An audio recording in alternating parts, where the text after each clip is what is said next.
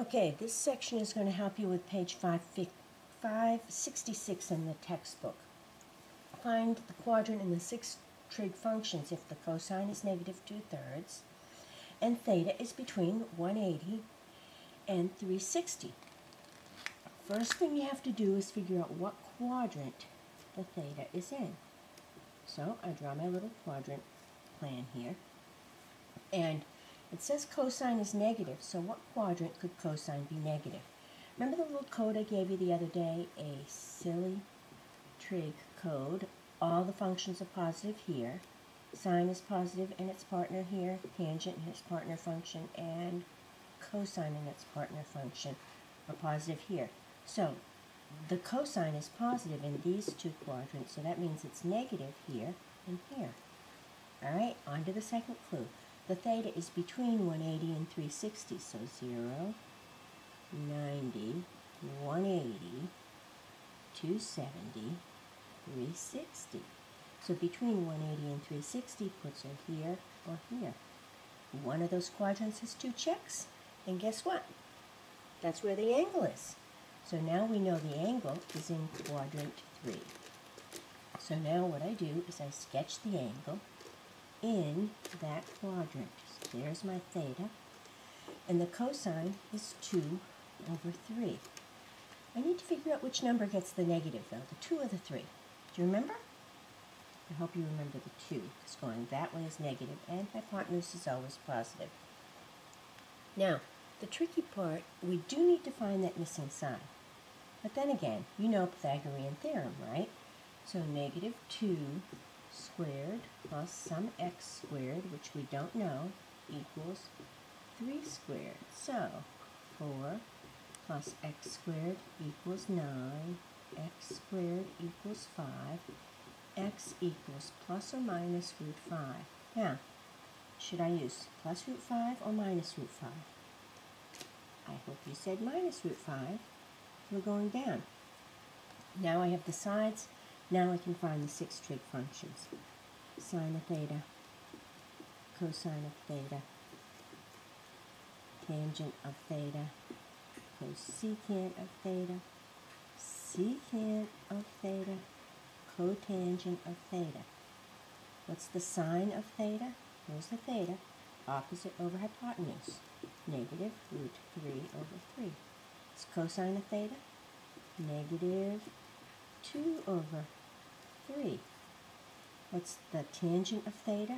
Negative root 3 over negative 2. Oh, you could call that positive.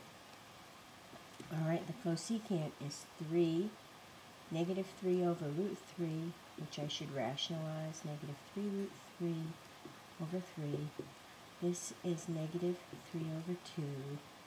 This one's 2 over root 3.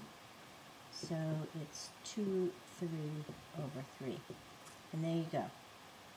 Um, there are the six trig functions of the theta given the clues. So you have um, eight of these problems to do. I think you can do them now. Good luck. Okay, in this next section, and this is on uh, 572, I'm going to show you how to use your calculator to get some trig functions. Now, important thing about the calculator is you need to have it in the proper mode. So check the mode by pressing the mode button.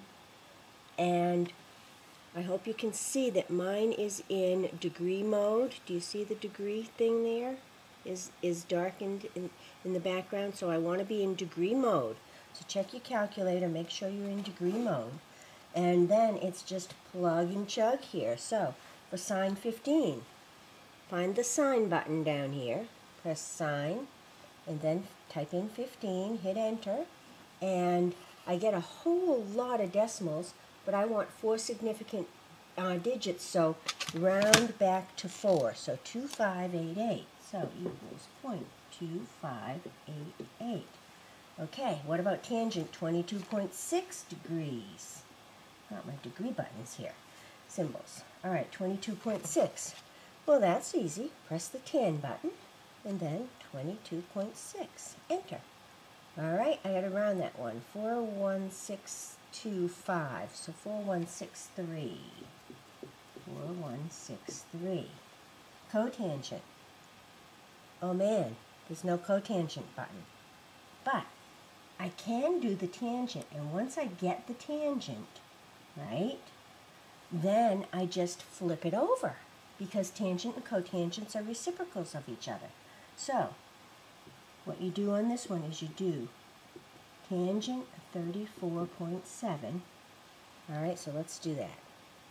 Tangent, there's a tangent button here, 34.7, 34.7, and I get 0.6924, and I want to flip that over. So, there's a uh, x negative 1 button on your calculator right here. You see it? x negative 1. All right, I can just use that button. So, second answer, x negative 1. And I flip it over, and that gives me 1.444. We want four significant digits, so there I go, 1.444. All right, how do I do cosecant 27 degrees 40 minutes? Oh, another technicality here. First of all, it's cosecant 27 point what degrees? I need to change that to a decimal. Remember how to do that part? 40 divided by 60. 40 divided by 60. So you get 0.6666. So let's call it 0.67. Now I want to do cosecant, but I can't, so I want to do, um, let's put a hint here, x negative 1 key. So I need to do the partner function, which is sine. So I want to do sine of 27.67, and then the 1 over x key. So here we go. Let's try that. Sine 27.67 and I get 0.46438, but I want the cosecant of that, so now I do um, second answer x negative 1. And I get 2153. 21534. So 2.153 around. All right. Let's do one more. Secant 4920. What do I do first? I need to do secant 49 point what degrees? 20. So 20 divided by 60. 0.333, so 0.33 degrees. And then I can't do secant, so I do cosine. All right, so let's clear this out here. We're going to do cosine of 49.33.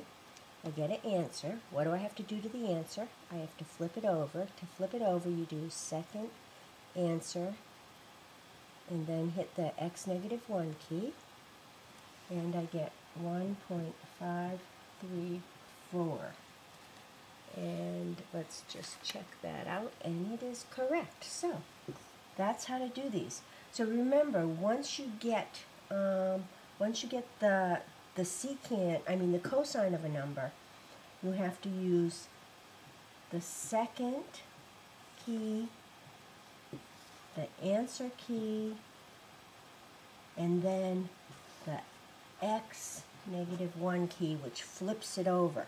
You could just do 1 divided by second answer also, but it's fun to use the key. All right, you should be able to do all of these now. Good luck.